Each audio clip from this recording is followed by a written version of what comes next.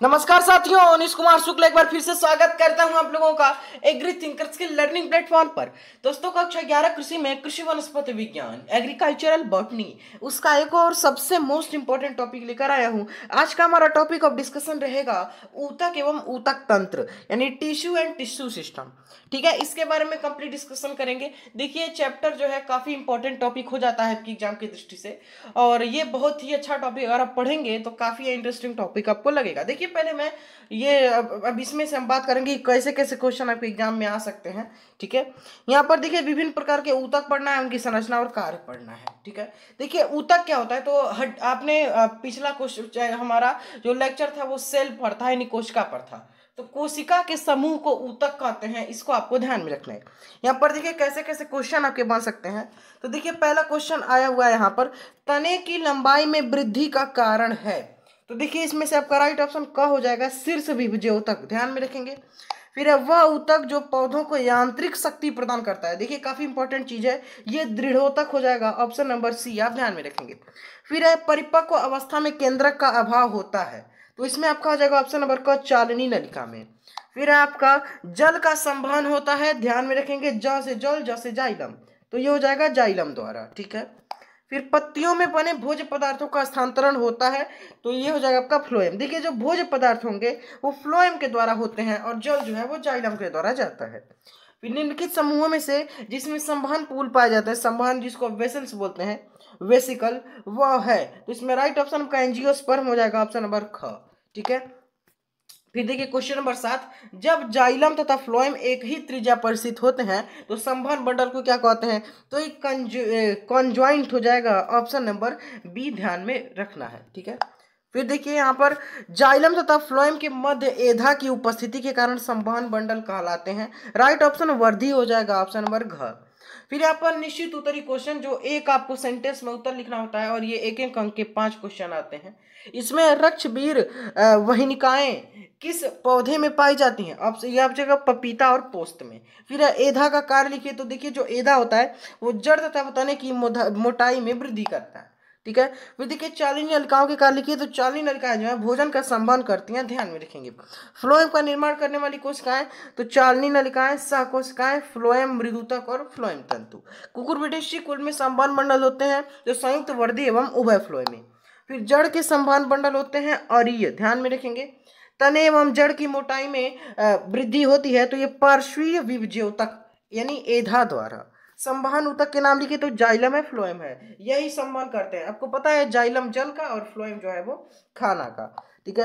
एक कोशिकीय रोम कहाँ पाए जाते हैं? इनका प्रमुख कार्य बताइए। तो एक कोशिकीय रोम आप ध्यान रखेंगे, रूट में, जड़ में पाए जाते हैं और ये जो जल है उसको अवशोषित करते हैं। ठीक है? आपको पता भी है, रोम है रोम है मूल, रोम कहते हैं मूल रूट, हेयर तो वो जल का अवशोषण करते हैं। ठीक है? फिर यहाँ पर आप लोग देखिए क्या लिखा हुआ है। दसवां क्वेश्चन है। देखिए जड़ से पत्तियों तक जल जाइलम का जो किस ऊतक द्वारा होता है तो ये जाइलम हमको बताया है कि जल जो जल जो है, वो जड़ से पत्तियों तक जाइलम द्वारा जाते हैं। उभय फ्लोएमी संवहन मंडल क्या है? उभय फ्लोएमी संवहन मंडल यानी बाइकोलेट वन सेकेंड बाइकोलेटेसल, ठीक है? Vacuolar bundle. ये जाइलम के दोनों फ्लोएम को स्थित होते हैं, ठीक है? ये वर्धी यानी ओपन होते हैं। फिर है आपका यहाँ पर देखिए एक्जार्क जाइलम और आपका जो एंडार्क जाइलम है, उसमें क्या अंतर है? तो ये भी आप पढ़ सकते हैं। देखिए। यहाँ पर है, जड़ों में स्थित अरीय यानी रेडियल संवहन पुल में अधिदारु जिसको बोलते हैं प्रोटोजाइलम परिधि की ओर तथा अनुदारु, यानी आपका मेटा जो जाइलम है, वो केंद्र की ओर स्थित होता है। इसी को हम, यानी यहाँ पर एक्सट्रेच बोलते हैं, ध्यान में रखेंगे।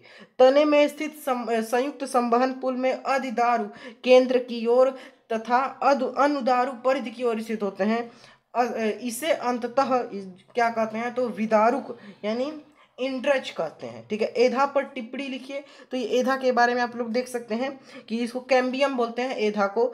तो ये आपका पतली भित्ति वाली सघन कोशा द्रव्य एवं स्पष्ट केंद्रक वाली आयताकार कोशिकाएँ होती हैं। ये जाइलम तथा फ्लोएम के मध्य स्थित होती हैं। इनमें कोशा विभाजन के परिणाम स्वरूप जो है, वो जड़ की मोटाई में वृद्धि होती है। फिर देखिए, फ्लोएम ऊतक की कोशिकाओं को नामांकित कीजिए।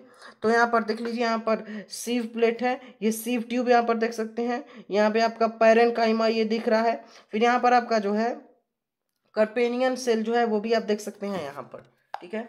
ये फ्लोएम ऊतक की अनुदैर्ध्य काट है। फिर दारू वाहिनिकाओं तथा दारू वाहिकाओं में अंतर कीजिए। देखिए, पहले दारू वाहिनिकाएँ जिसको ट्रैकिट्स यहाँ पर बोलते हैं, ठीक है? ये लंबी सकरी होती हैं, अंतिम सिरे नुकीले होते हैं। ये नुकीले सिरे द्वारा लंबाई में जो है एक दूसरे से जुड़ी होती हैं। ध्यान में रखेंगे, ये जल संवहन के अतिरिक्त पौधे की दृढ़ता प्रदान करती हैं, ठीक है? फिर देखिए, दारू वहिकाएँ यानी वेसल्स क्या होते हैं? ये लंबी नलिकाकार कोशिकाएँ होती हैं, परस्पर अनुप्रस्थ भित्ति द्वारा जुड़ी होती हैं, अनुप्रस्थ भित्तियाँ छिद्रयुक्त होती हैं अथवा गल जाती हैं, ये संवहन में सहायक होते हैं। फिर देखिए यहाँ पर आपको टिप्पणी लिखना है, मृदुतक, मेरिस्टेम, रंध्र की संरचना एवं क्रियाविधि और आपका लयजात गुहिका। पहले यहाँ पर मृदुतक, जिसको पैरन काइमा बोलते हैं, इसके बारे में आप पढ़ सकते हैं। देखिए इसके कार्य भी लिखा हुआ है, ठीक है? यहाँ पर देख लीजिए क्या लिखा हुआ है? यह ऊतक पौधों के कोमल भागों में पाया जाता है आपको ध्यान में रखना है। मृदूतक कोशिकाएँ जीवित पतली भित्ति वाली गोलाकार, अंडाकार या बहुभुजी होती हैं। कोशिकाओं के मध्य अंतर कोशिकीय स्थान सामान्यतया पाया जाता है। कोशिकाओं के मध्य अंतर कोशिकीय अवकाश का अभाव भी हो सकता है। यहाँ पर इसके कार्य भी आप पढ़ सकते हैं, पैरन काइमा में। देखिए, आप इसको जल्दी से पढ़ेंगे क्योंकि ये काफ़ी इंपॉर्टेंट चैप्टर है और चूँकि वीडियो बड़ी ना हो जाए, इसलिए हम जल्दी से इसको कंप्लीट कराते हैं। कोशिकाओं के मध्य वायु गुहिकाएँ, जिसको एयर कैविटीज बोलते हैं। तो ये देखिए बन जाती हैं और मृदुतक कोशिकाएँ वायुतक यानी एरन काइमा बनाती हैं। ये प्लवन एवं गैसों के आदान प्रदान में सहायक होती हैं। यहाँ पर मेरिस्टेम देख सकते हैं इसको दो समूह में बांटा बा, जाता है। विभज्योतकी उतक और स्थायी उतक इसको आप ध्यान में रखेंगे। ठीक है? फिर यहाँ पर दोनों के बारे में को पढ़ना है विभज्योति और स्थायी उतक के बारे में। फिर यहाँ पर अग्र या शीर्षस्थ विभज्योतिक ठीक है? इसको बोलते हैं एपिकल मेरिस्टेम ठीक है? और दूसरा आपका होता है यहाँ पर आप देख सकते हैं इंटर इंटर कैलरी मेरिस्टेम इसको बोलते हैं तीसरा आपका लिटरल मेरिस्टेम तीनों के बारे में आपको पढ़ना है। यहाँ पर रंध्र यानी जो स्टोमेटा है, उसके बारे में पढ़ना है। देखिए जो स्टोमेटा है, आपको पता है कि जो रंध्र होते हैं, इसी से जो हमारे पौधे होते हैं, पत्तियों की अबेक्सियस यानी निचली सतह पर पाए जाते हैं और उसी से जो उसका वास्पोत्सर्जन ट्रांसपरेशन होता है, इस पर गार्ड सेल होती हैं। ठीक है? ध्यान में रखेंगे। में दो गार्ड सेल पाई जाती हैं। यहाँ पर देखिए एक रंध्र की रचना भी है, देख सकते हैं आप लोग। ठीक है, रंध्र उत्सवेदन में सहायता करते हैं, गैस विन में करते हैं। फिर यहाँ पर आप जो है, लयजात गुहिका, ठीक है, यानी लाइसी लाइसीजीनस कैविटी के बारे में पढ़ना है आपको। फिर यहाँ पे आपको अंतर बताना है, स्थूल कोण ऊतक तथा दृढ़ कोण ऊतक में, यानी कॉलन काइमोस क्लेरेन काइमा में। तो आप अंतर भी देख सकते हैं। ये जो अंतर यहाँ पर लिखे हुए हैं, देखिए, यहाँ पर जीवित कोशिकाएँ होती हैं, मृत कोशिकाएँ होती हैं, इस प्रकार से सारे अंतर आपको पढ़ना है। देखिए, मैं इसलिए छोड़ छोड़ के पढ़ा रहा हूँ क्योंकि आपको सारा पढ़ना है। पीडीएफ में आपको दे दूँगा, टेलीग्राम पर पूरा पढ़ लेंगे, क्योंकि चैप्टर बड़ा है, काफ़ी ज़्यादा इंपॉर्टेंट है, इसलिए आपको स्किप नहीं कर है। जाइलम फ्लोएम में अंतर देखिए तो यहाँ पर देख सकते हैं, जाइलम जो है जल तथा खनिज लवणों का संबंध करता है, यहाँ पर ये कार्बनिक भोज पदार्थों का करता है। वर्दी तथा अवर्दी संबंध मंडल में अंतर देखिए, अंतर वाले क्वेश्चन आपको ज़रूर ध्यान में रखना है, और अंतर के आधार पर आप पढ़ते हैं तो बहुत जल्दी याद हो जाता है। तो यहाँ पर खुला संबंध मंडल तो द्विबीजपत्री में पाए जाते हैं, और ये जो बंद होते हैं, ये एक बीजपत्री में पाए जाते हैं। ठीक है?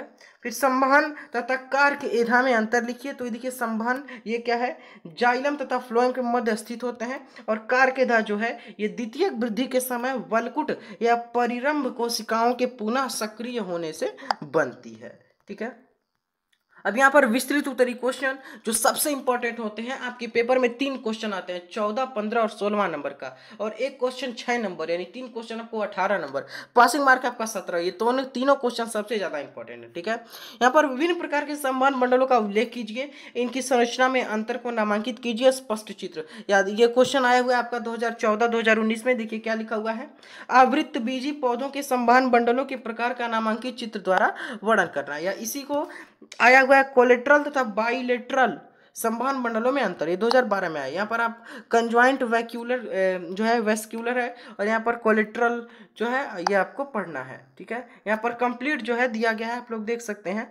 यहाँ पे ये बाइलेटरल के बारे में लिखा गया है, ये रेडियल वेसिकुलर बंडल है, यहाँ पर जो है आपका संकेंद्री है यह आपका एम्फी वेसल है और यहाँ पे आपका एम्फी क्राइबल है, ठीक है? आपको ध्यान में रखना है। तो देखिए, यहाँ पे मैंने जल्दी जल्दी दिसिए मैं जल्दी कंप्लीट करा रहा हूँ। इसका मतलब ये नहीं है कि इंपॉर्टेंट नहीं है, बहुत ज़्यादा इंपॉर्टेंट आपकी एग्ज़ाम की ज़रूर क्वेश्चन यहाँ से आप बनते हैं, ठीक है? अब पीडीएफ मैं आपको दे दूँगा टेलीग्राम पे, उससे आप पढ़ लेंगे क्योंकि ये आ, मैंने बुक से फ़ोटो ली है तो पीडीएफ मैं आपको दे दूँगा ठीक है? और आपको इसको कंप्लीट पढ़ना है, छोड़ते नहीं रहना है। छोड़ के मैं इसलिए बता रहा हूँ क्योंकि ये काफ़ी लंबा चैप्टर है और वीडियो ज़्यादा लंबे हो जाती है तो स्टूडेंट्स जो है वो देखते नहीं हैं, ठीक है? तो पीडीएफ के लिए ज्वाइन करेंगे टेलीग्राम चैनल लिंक है डिस्क्रिप्शन में, वहाँ से आपको ये मिल जाएगा, वहाँ से आप डाउनलोड करके पूरा का पूरा पढ़ लीजिए और नोट्स बना के एकदम पी जाइए, ठीक है? घोल कर उसको, ताकि यहाँ से क्वेश्चन आए तो बिल्कुल आपका गलत ना हो, ठीक है? व्हाट्सएप ग्रुप का लिंक है डिस्क्रिप्शन में, उसको भी ज्वाइन करें, वहाँ पर अपनी क्वारीज आप हमसे पूछ के सॉल्व करा सकते हैं। देखिए कोई क्वेश्चन बैग अगर आपके लेक्चर में लेक्चर के से अगर रिलेटेड कोई क्वेश्चन है, कोई भी क्वेश्चन है कमेंट में आप लिख दीजिए, हम उसका आंसर कर देंगे, ये आपको ध्यान में रखना है। और सबसे इंपॉर्टेंट बात यह है कि तिहत्तर परसेंट जो स्टूडेंट्स हैं वीडियोस देखते हैं, लेकिन चैनल को सब्सक्राइब नहीं करते। तो ये सबसे बुरी बात है। सब्सक्राइब नहीं करेंगे तो उससे आपका नुकसान होगा, आपको अगली वीडियोस नहीं मिल पाएगी, ठीक है? यहाँ पर आपको इन इंस्ट्रक्शंस को फॉलो करते रहना है। वीडियो को ज़्यादा से ज़्यादा शेयर करना है, क्योंकि ज्ञान जो है वो बांटने से बढ़ता है। Thanks for watching take care मिलते हैं नेक्स्ट वीडियो में।